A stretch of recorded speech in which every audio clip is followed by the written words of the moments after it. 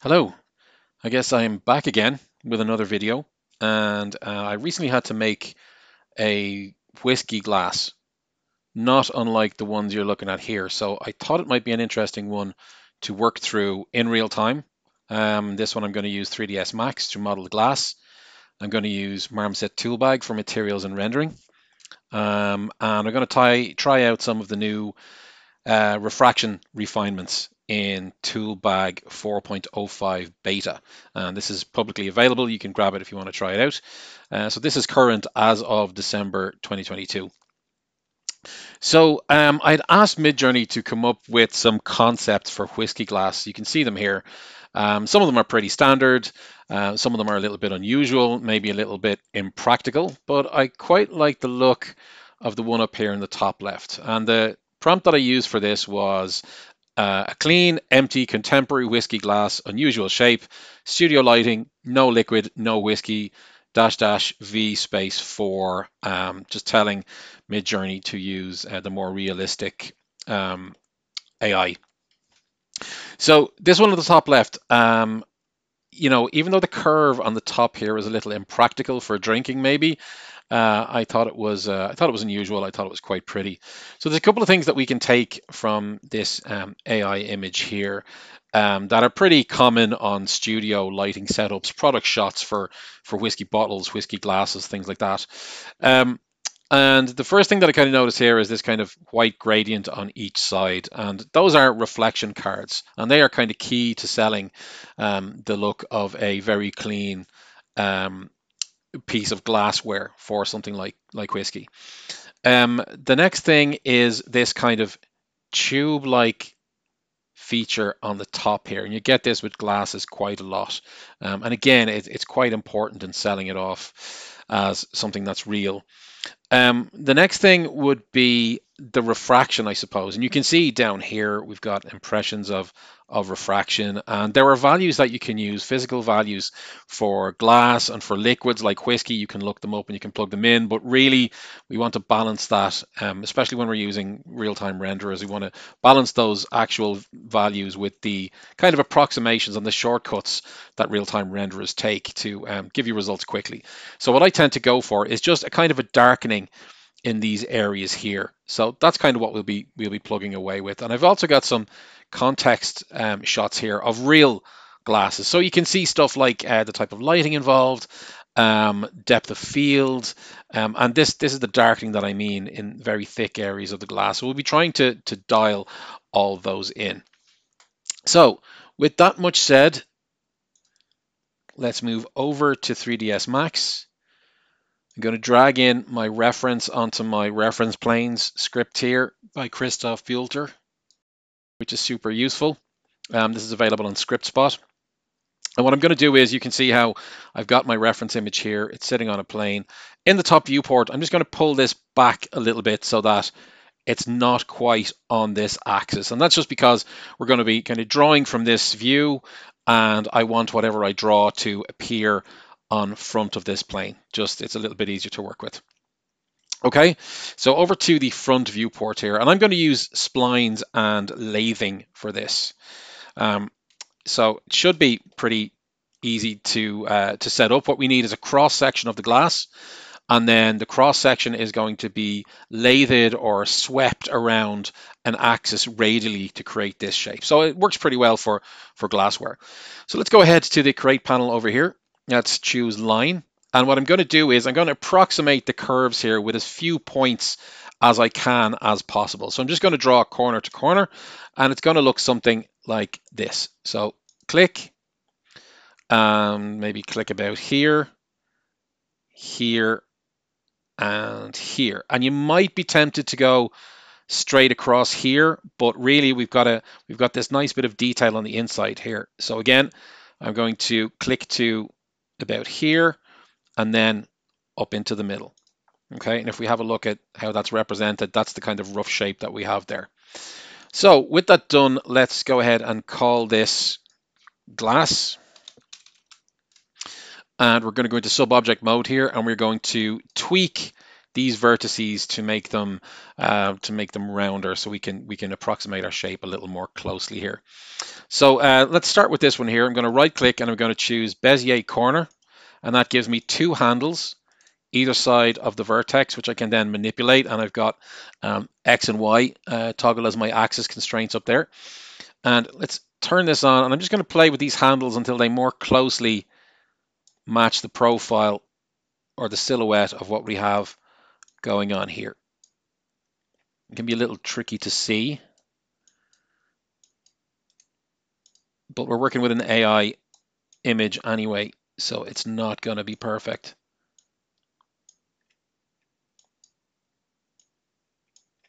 Okay, pretty good. And then pull this down slightly. Again, right click, turn this to a Bezier corner. And just make sure we've got that as close as possible. Okay, let's move on to this piece here. Same deal, Bezier corner, Bezier corner. I'm just playing with those handles until I can get them pretty nice. And this is going to sit flat on the ground, so let's get that cleared up a little bit. Yep, pretty good. Happy with that. So what we've got to do in a case like this where we want the, we're going to use ray trace refractions, we want the geometry to be as close to real world as possible. So we actually have to think about the inside of the glass here as well. So the way I like to do this with splines is to just go ahead and choose uh, sub-object spline or maybe sub-object segment might be better for here. And with those selected, I'm just going to hold shift and drag those out a little. So now I have a, a, new spline that represents the inside. And as before, I'm going to make sure that this kind of tapers up a little tighter at the top here. So the thickness of the glass um, is less up here. So it's thinner here and thicker down here. And I'm also going to go in and manipulate these Bezier handles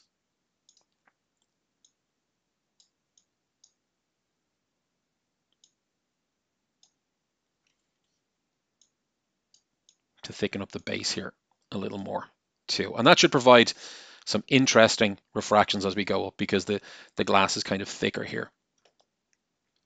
Okay, I'm going to add uh, just add a, a, straight spline in here. So I'm, I'm hitting create spline uh, in the sub-object, left click and bring that over.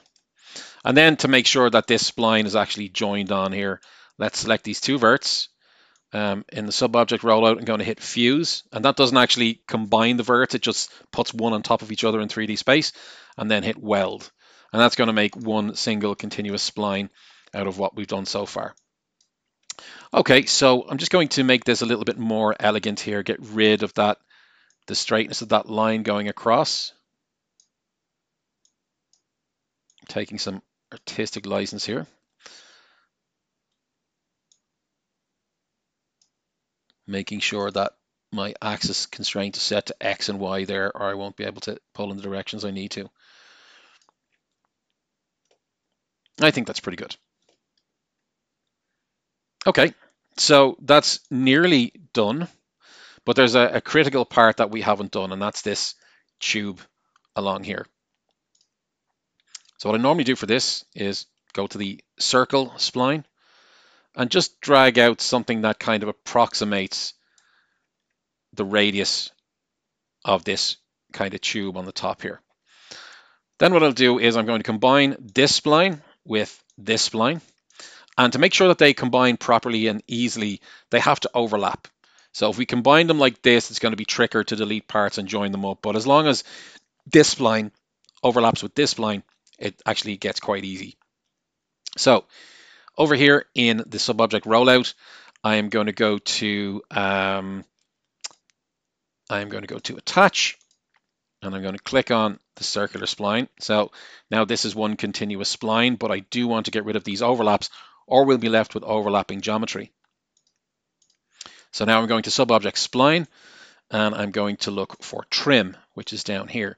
And trim is like a Boolean kind of for spline. So anything I click on will be removed and a common vertex will be added. So for example, if I click on this area here, it's removed and common vertex is added here. Same over here, click on this overlapping part and it has been removed and a new um, overlapping vert has been added there. And then I can click on this part. And as you can see, all of that has been cleaned up. The spline no longer intersects up here and we have one single spline for lathing. But we do have to check something. We go back in here to vertex and just click once here. You can see as I move this around, these are not actually welded. So what I want to do is marquee select there so I get any verts that are unwelded and just hit fuse and weld. And I just hit fuse beforehand because if the verts are so far from each other that they're outside of the weld threshold, fuse will bring them back together. And I'm also going to do it on this side, even though there doesn't appear to be an issue. And when you're working with splines like this, you will see that one of the verts is colored yellow. And that yellow vert is known as the first vert of a spline. And there should only be one of those on a contiguous spline. So if you see more than one, it means that your object isn't welded. But sometimes the yellow vert can be kind of hid under a white vert and it's tricky to track down. So I think we're pretty good. Um, let us just try a few of these more, make sure everything is welded up. They are. And what we can do is just to reduce this hard line here, we can go in here and we can select these and we can maybe kind of fillet them just to take that hard edge off. And likewise, what we might want to do is go down here and fillet these because you, you just wouldn't get those extremely hard edges on glass. So let's put something like that, enough of a flat surface that it can touch the ground. And I might just even these guys up here a little. That looks pretty good. And you might want to do the same in this instance here just to get that really harsh angle out of there. Something like that. All right, that looks pretty good. Um, the other thing is that we can kind of make this as low poly as we like if we change the um, interpolation of this guy. Now I've messed up my menus over here, so that means interpolation is going to be down the bottom here. But uh, if we change the amount of steps here, you can see how it changes the number of steps between each vertex. Like our vertices are still there. It's just the, inter the interpolation of the spline has changed between them. So we want this to be, you know, reasonably uh, detailed, and we can always put a, a, turbo smooth on top as well. So let's let's um, let's go with a value of three for this, and that should preserve everything that we're trying to do. So the next thing is to uh, add the lathe modifier,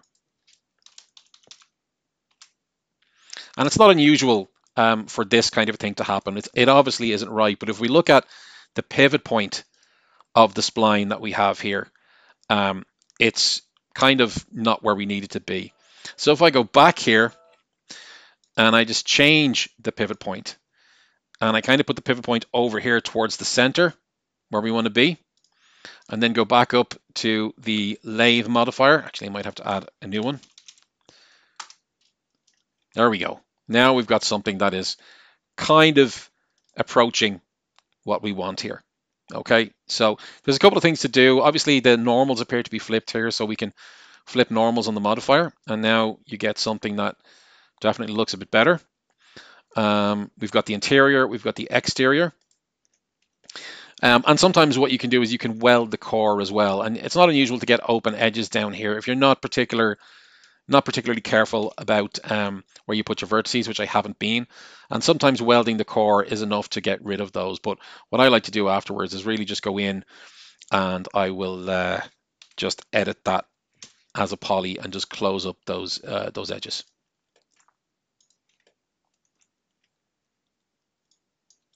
Okay, should just be able to collapse or weld these down. It's on the outside. And then we also have this one on the inside. And these are overlapping at the moment. That's why there's that kind of weird darkening going on. So a quick weld will uh, will put all those to rights. Okay, pretty good. So what else have we got to, look, I can see some smoothing group issues there. So at this point, why don't we just go ahead and set the elements entire smoothing group clear all to one. Um, yeah, I think that's going to be fine. So that opens it up itself. Obviously, we want to get this faceted look off the top, but that leaves itself pretty well towards um, some smoothing later on. But before we get to smoothing, let's just compare these side by side. And we've got a pretty good approximation here um, including this area underneath. Uh, but what we want to do is get that kind of um, strange kind of curvedness in there. And there, there are numerous ways to do that. Um, in this case, what I'll probably do is just grab these top two rows here um, and I'll add an FFD 4x4x4 and I will just pull this down a little bit. Hopefully it won't get too warped. Don't want that tube getting out of shape.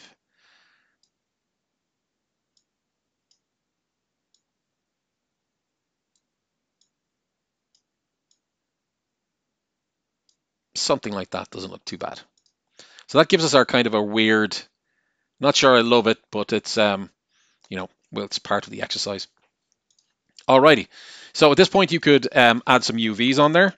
Um, if you wanted to have a glass that had, you know, fingerprints or something like that, um, you would need those UVs, or you know, if you wanted to do some frosting on the glass or something like that.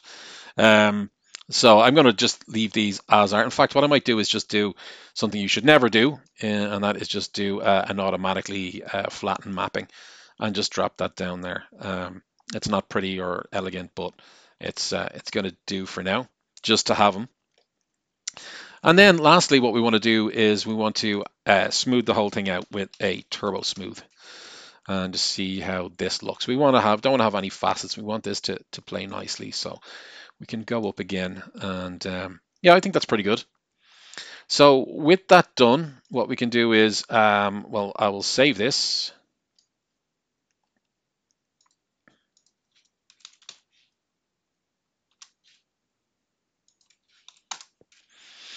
and I will then collapse to an editable poly. Um, and what I want to do at this stage is I want to actually make some liquid for the glass. I was almost forgetting to make some liquid for the glass. So what I'm going to do is I'm going to go in here to the inside and we have some kind of dirty looking polygons there, but that's okay. I don't think it's going to affect us. And using wireframe mode, I am going to make a selection um, for the amount of fluid that I want to have in the glass. Okay, so take that down. Maybe something like that would be okay.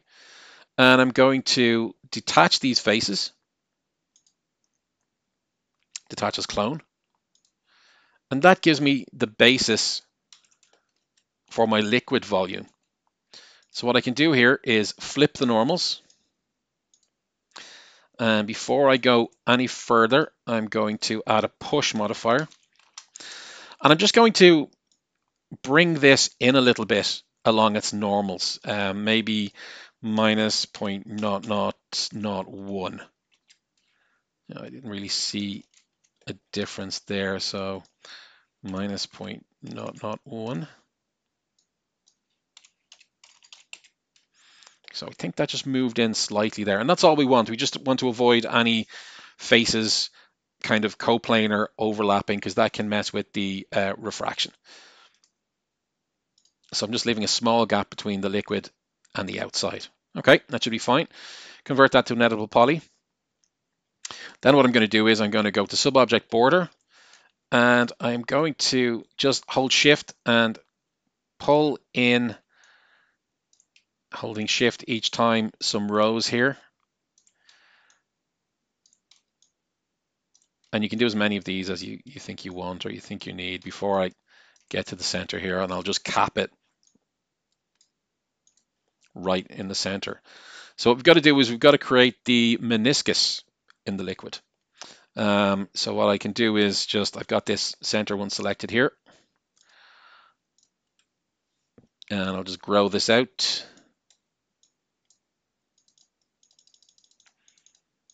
And I'll just pull everything down a little.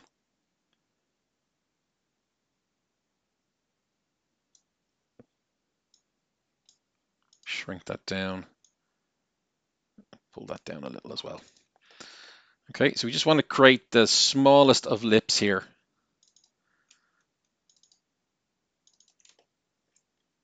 At the very edge. We could probably go a little more.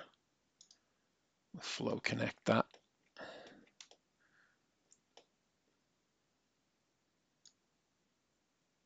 and pull it down some more. Okay, That should give us what we need. And last thing I want to do is just set a separate smoothing group for this topmost vert, or the topmost uh, faces here. Excuse me. Give that a smoothing group of two, and select invert and give everything else a smoothing group of one. That's going to just separate that. And that's basically our whiskey um, liquid. Let's call that liquid.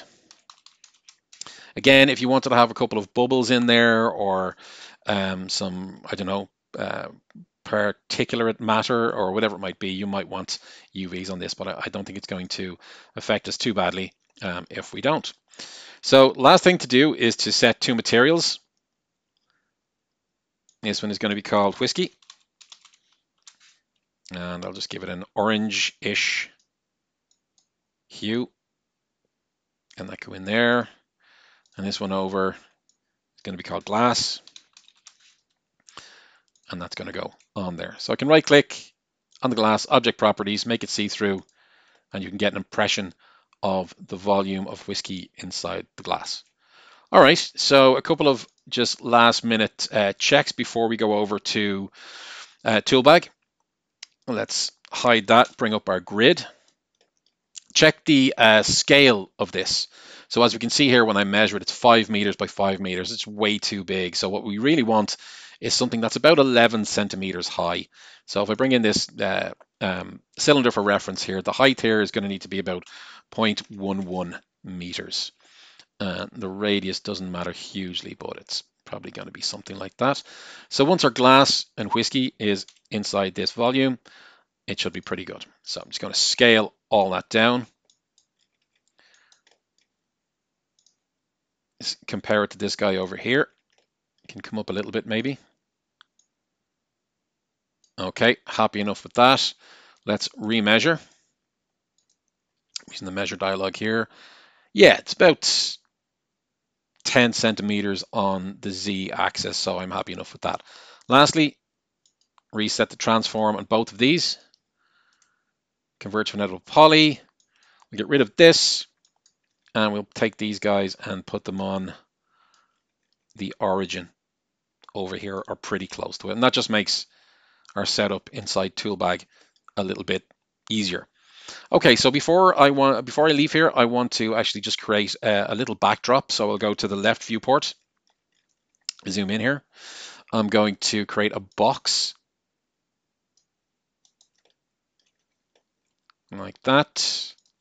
I'm going to go convert it to an editable poly. I'm going to go to sub-object face mode and grab all of these, delete them. So all I have left is this L shape. I'm going to flip the normals on this so we get the inside. And I'm just going to make it plenty big for what we might want to do.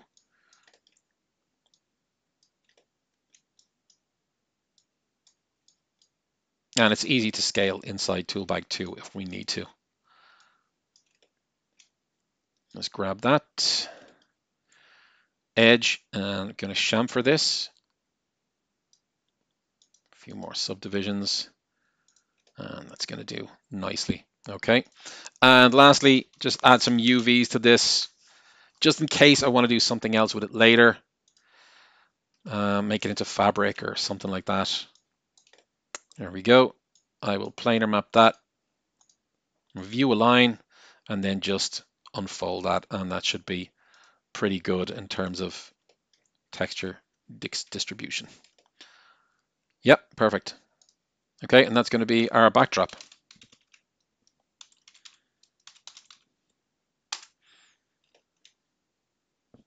Cool, let's reset the transform on that. And we're good to go. Convert everything to an editable poly. And I will go and I will export this.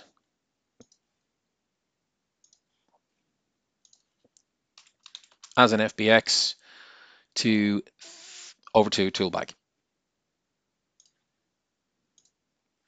Okay, so over to Toolbag, and you'll see I'm using the 405 beta, and it's got some of these new studio uh, environments in here, which could be fun to play with. So let's go ahead and start getting set up here. Let's go File, Import Model, and it's going to be called version 3, which is this guy. Oh, there we go. It's kind of everything we need right there. So the first thing I'm going to do is I'm going to um, change the field of view a little bit. I want it to be a little more zoomed in here. And as you can see, we don't have any shadows or anything like that in the scene at the moment. This is the, the real-time um, version, the kind of speedy version of, of rendering in Toolbag. So to turn on ray tracing, we can press Control and OR. And now you can see we're getting shadows from the environment and we're getting uh, lots of nice interactivity. I'm holding shift and right click here to move the environment around. You get this very painterly feel at the moment. So let's go ahead and start setting up our um, environments here and our backdrops. So the first, um, I'm going to change this to background, the name of this material. Drop it on. I want it to have a high roughness and I want it to be a little darker than we're seeing there already and also a little warmer. Something like that. Okay, cool. The next thing is going to be our glass. Um, obviously, this looks metallic at the moment just from the way that came in here. All right, so let's get going on glass. So the first thing I want to do is I want to change the transmission over here to refraction. Okay, then what I want to do down here is change the reflectivity to metalness. And I'm going to bring the metalness down to zero. And that will start to give us the transparency that we need. Okay, um, I'm going to uncheck derive refractive index from reflectivity. And that just gives us a bit more individual control over the roughness. And then we can start dialing in the depth over here. And what you see is um, as I change the depth, you can see that get a kind of a very dark smoky effect with a low depth that decreases um, as you move this depth slider up. So this is all looking a bit like frosted glass at the moment, which is really not what I want. Uh, let me disable this DLSS for a second. Okay. Um, I need to change the roughness. So the reason we're getting this kind of very, very rough, almost like sandblasted glass effect is because of the reflection roughness here. So let's take this right back down and we'll start to get something that better resembles a glass. Okay. Um, so now the refract refractive index here, and this is the value that I was kind of talking about at the very start where you can change the refraction index and you can see it here. And I think the refractive index for glass is about 1.52 and the index of reflection for whiskey is about 1.356 but obviously we have to tune it so that it looks good okay what I'm going to do is I'm going to hide the whiskey for now just so we can see the glass a little bit better here. Okay cool. Um, now we have the the depth that we can play with. And if you could bake a thickness map for your model, um, which you can do in Max or, or whatever your model may be, you could bake it so that this area down here um, has a, a, thicker depth and it and it darkens a little bit more. I want to make sure that, that it's not too dark in our particular image here. Okay, um, this is starting to look like the type of glass that we want, I guess. Why don't I dial up that refractive index to 1.5, see if it doesn't doesn't change a whole lot there.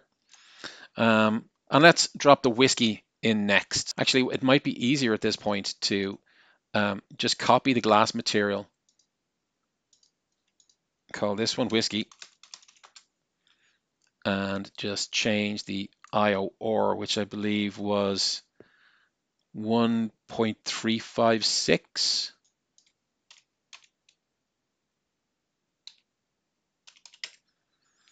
Okay, and we need to get some color in there too. So let's bring back our liquid. Drop that in there and maybe get rid of the glass just so it's not super confusing. Nice caustic patterns there are being picked up. and see how we can tweak the color here.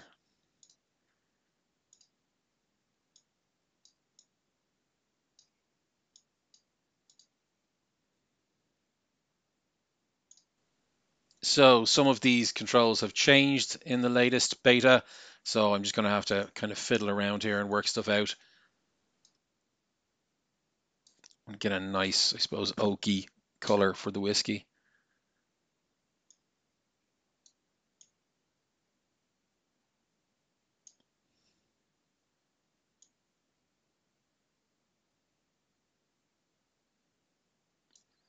Okay, let's bring back the glass and see what we look like. Now, what you'll notice now is that when we look down, you get the kind of color of the whiskey. But when we're looking at the whiskey through the glass here, everything has gone really dark. So what we need to do is really up the number of samples that we're using in the scene. So um, if you see here, um, I've got bounces set to one and transmission set to four.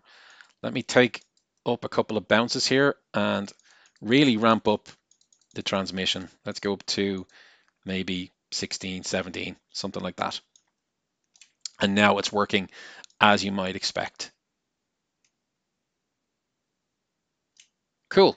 So this studio environment that I'm using is actually kind of throwing off a little bit more in terms of directional illumination than, than I would like. So I'm going to go back to the library and there's one in here that I like to use for internal scenes um, and it's called Japanese Apartment. And um, quite like this one in terms of the, the warmth that it gives off. And even some of the ref reflections are, are quite nice here as well. Um, and sometimes I like to drag a directional light in too, maybe from up here. And that has also helped to brighten up the scene a little bit. So let's soften those shadows. We also have some control over temperature here, which is which is quite nice in this latest version. And I'll also um, create a light, just move up here a little bit. Just hit the light button, create a spotlight coming down there. And I really kind of want this to hit the area behind the glass and give us a nice kind of a hot spot there.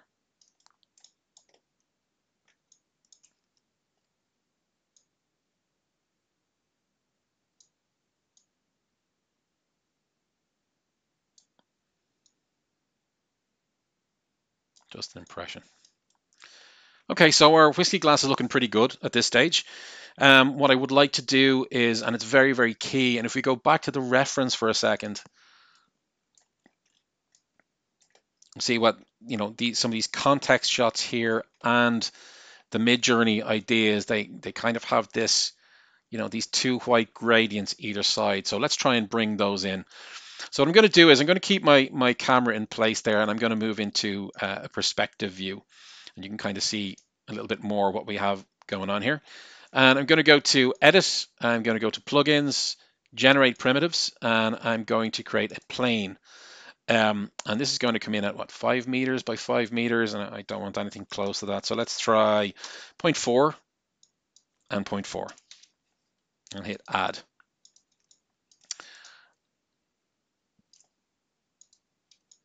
And our plane has been created on the ground plane. Here it is. And I'm going to just rotate that. And it's, it's blocking some of the light from the HDR environment here, but that's fine. I'm going to create a new material. And this one is going to be called light. I'm going to make it completely rough.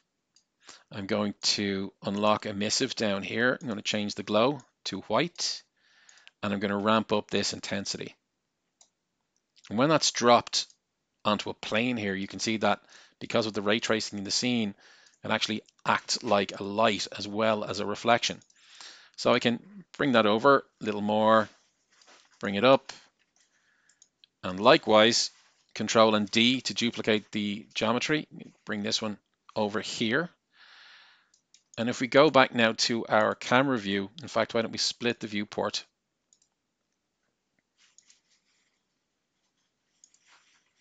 you can see that now we have these two nice reflection areas over here. And because it's ray traced and it's not screen space, you know, we can move it about and we can do this stuff off camera that might not necessarily be visible otherwise. And we can tease out the best kind of reflection that we want from this area.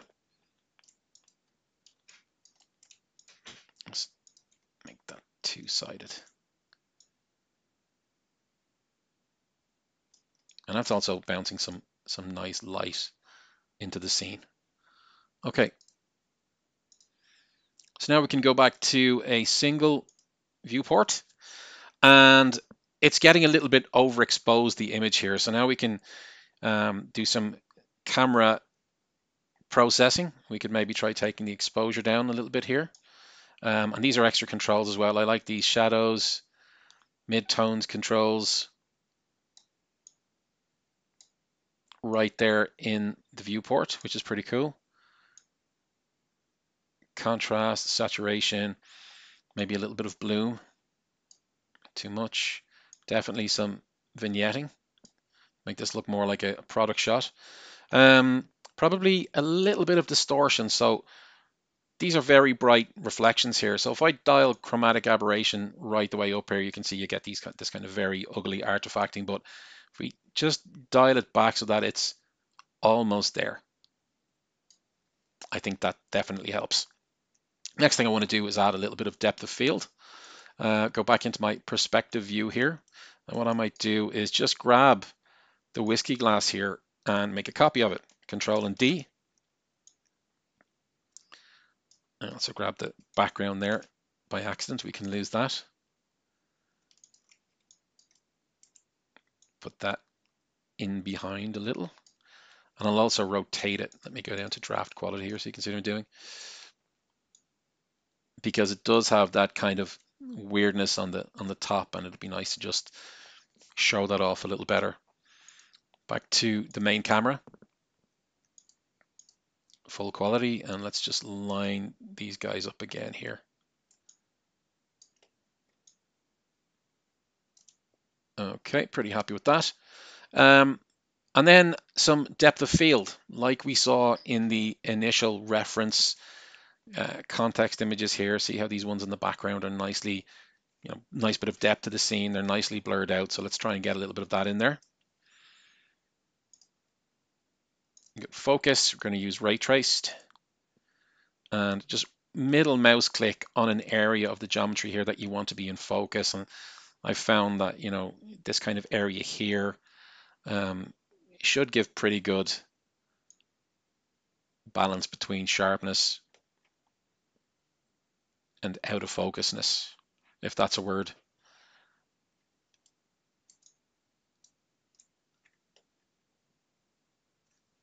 See how this resolves out. Okay, nice. So it's getting denoised. It's also still a little bit blurry, so think I'll change the denoising um, just a little bit. So the denoise strength is set to one here. And with denoising off, I don't know if you can see this, but there's a fair bit of noise creeping back in. We just want to keep an element of the grain 0.82 is a value that works pretty well. Um, so with that said, I think we're pretty much done. That was a whiskey glass from AI to 3D. Um, thank you for watching.